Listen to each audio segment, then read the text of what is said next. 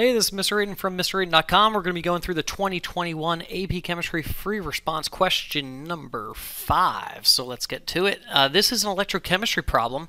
And uh, electrochemistry, a lot of teachers will go right by electrochemistry. Uh, my students love electrochemistry. I think electrochemistry is one of the easier topics there is. And you can see this is a non favorable electrochemistry uh, why? Because you can see we have a power source right here, which means the delta G is going to be positive. It is non, not favorable. It's not favorable. And if the delta G is positive, then you know the E is going to become a negative number. E is going to become a negative number, which means this reaction right here, this is the reaction that will be flipped because you're going to have a negative because we're supplying it with a power source, a battery. And so when we flip this guy, we know the one that we flipped is the oxidation, or this is the anode. And they told us the chlorine gas is the anode. And you can see which means the one that we didn't flip, the one that we kept the same, because these are all reduction half reactions. This is the one that's reduced, which means this is the cathode and you can see magnesium is at the cathode. And so what direction will the electrons flow? The electrons always flow from anode to cathode, from anode to cathode, and that was A. Draw an, uh, an arrow on the diagram to show the, the direction of the electron flow. It always goes from anode to cathode. And let's think about what's happening here. The magnesium is gaining electrons. It's reduction. It's gaining electrons. So those electrons are going to the magnesium, it's gaining it. And you can see we're making more and more and more solid magnesium. Uh, or sorry, more and more and more liquid magnesium on that. And we're going to be uh, also making chlorine gas.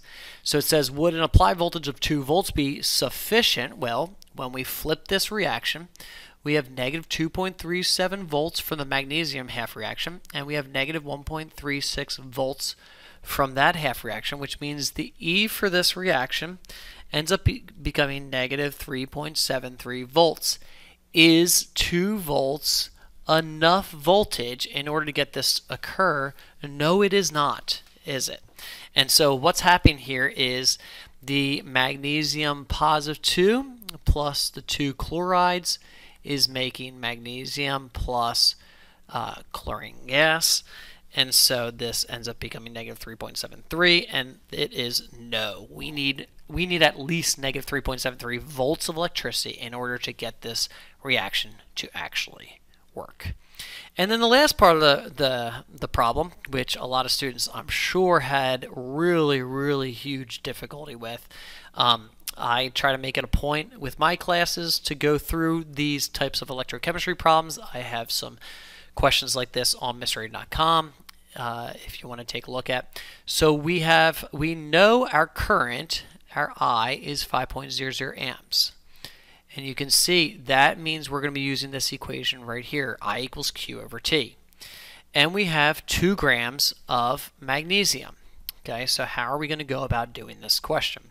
Well, again, take it step by step. That's the easiest way to do it. Do what you know how to do. So we have 2 grams of magnesium, which means if we're in grams, we always divide by the molar mass. 24.3 grams per mole is magnesium which is going to give me 0.0823 moles of magnesium. You can see there's three significant digits everywhere, so I'm just going to keep rounding everything to three significant digits.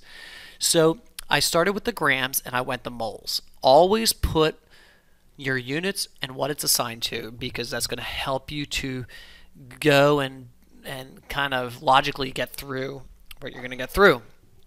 Okay? So now we want to take a look at, we have moles of magnesium, and this, re, this equation is dealing with electrons. You can see what I just uh, underlined there. It's dealing with electrons. So I need to go to my reaction. You can see this reaction right here. One mole of magnesium for every two moles of electrons. So one mole of magnesium for every two moles of electrons. Now, a lot of teachers will teach their students to do this um, with dimensional analysis. I like doing everything logically. And so 0.0823 moles of magnesium for every 1 to 2, 1 to 2, that's 0.1646 moles of electrons. And I believe they probably gave you a point for finding the moles of electrons. Okay, so you can see what am I doing here? I'm just taking it step by step. I went from grams of magnesium to moles of magnesium, from moles of magnesium to moles of electrons, and that's where I am right now. Now I have a very, very, very important number here. You can see right here Faraday's constant. This is how many coulombs for every one mole of electrons. So I have 96485 coulombs for every one mole of electrons. Can you see? I am just doing ratios here. Okay, 96485 coulombs for every one mole of electrons, which means I, I could have put the moles of electrons over here and did cross multiplying. I'm just doing ratios. What do I know is I know my moles of electrons. I know I have 0.1646 moles of electrons, which means I can do cross multiplying, and I end up getting 15,882 coulombs. Okay, 15,882 coulombs. I'm move I'm moving ahead.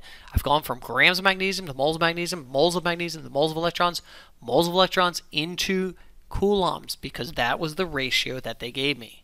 Now I have the coulombs. That's my Q in this equation right here. That's my Q in this equation. I have my I, which means I can know what T is. I is equal to Q over T.